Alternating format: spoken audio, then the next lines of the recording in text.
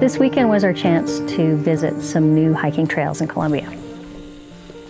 We went out with our friends from Expedition Colombia to explore the area in the Rio Verde Valley in Antioquia and get our views whether this was a good two-day hike for their clients.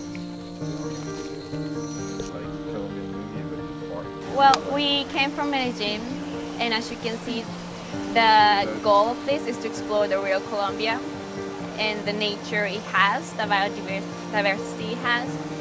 And I think it, it was extraordinary because we were able to see, sleep in the middle of nowhere, the jungle, and the experience we had, like swimming, surrounded by all this nature.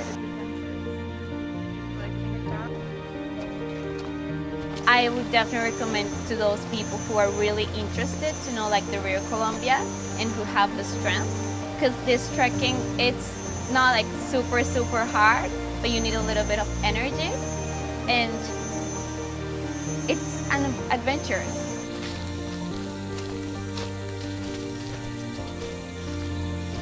Because of the history here in Colombia, there are still a number of places that are remote and unexplored and that's what makes hiking here so special.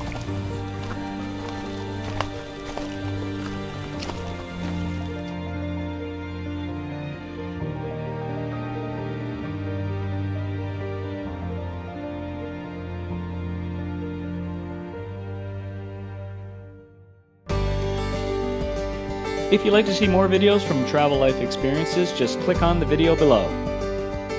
And if you like what you see, subscribe to our YouTube channel by clicking on the subscribe button.